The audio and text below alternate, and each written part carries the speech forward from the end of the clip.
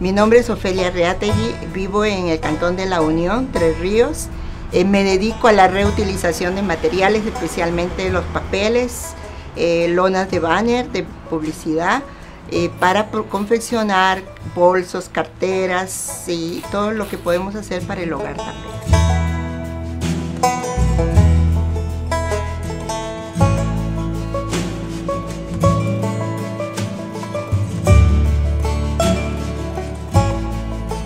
Siempre ha sido mi interés como ama de casa y también como profesora de ciencias eh, apoyar un poco al medio ambiente. A mi edad quise aprender algo y descubrí que tenía cierta habilidad para el tejido.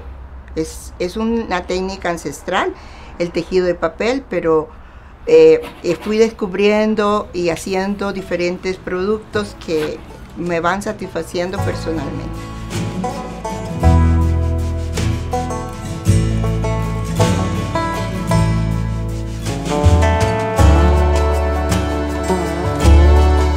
Cuando comenzamos a asistir a ferias, eh, nos dimos cuenta que necesitábamos un nombre.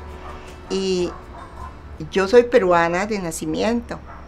En el grupo habían costarricenses, nicaragüenses, entonces nos gustó un poquito darle el nombre de que somos manos latinas.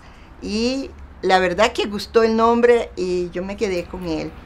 Eh, es, un, es un nombre que a través de todo el tiempo eh, nos identifica.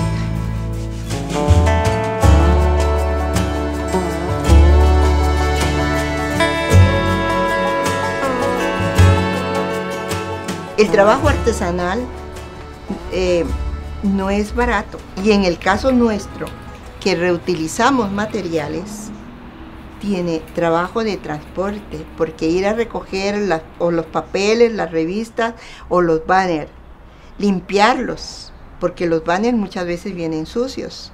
Hay que lavarlos, hay que limpiarlos. Es mano de obra. En nuestro trabajo la mano de obra es lo que es, lo que es más caro. Muchos dicen que es regalado. Sí, pero la mano de obra, volverlo en un trabajo, en un producto bonito y que sea, que sea tan utilizable, porque los nuestros se utilizan, son, eh, cuesta. Entonces tenemos que acostumbrarnos a que lo reutilizable también tiene un precio y tiene un valor porque el ambiente, cuidar el ambiente es difícil, es caro.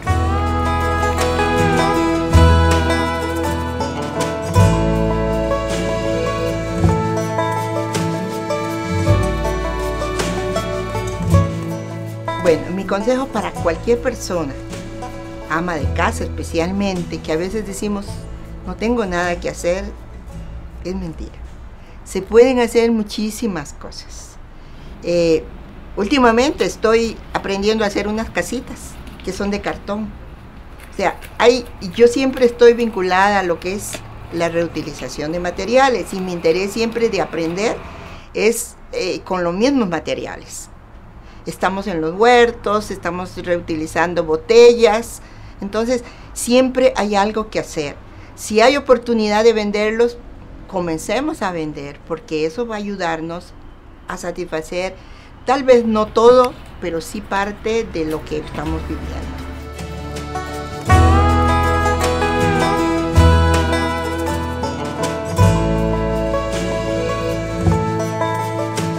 Formar empresa no es fácil tiene una serie de, responsabilidades, obligaciones, pero también es una gran satisfacción hacer, producir algo, verlo en la tienda, ver que alguien te envía algún mensaje de agradecimiento, felicitación por lo que ve, lo que estamos haciendo y también apoyar un poco el ingreso familiar, que es importante.